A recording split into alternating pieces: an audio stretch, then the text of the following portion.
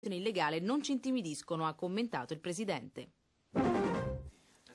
Un bando da 2 milioni di euro per aiutare le piccole e medie imprese nelle periferie di Roma. I progetti dovranno essere presentati entro il 31 dicembre e realizzati entro 12 mesi.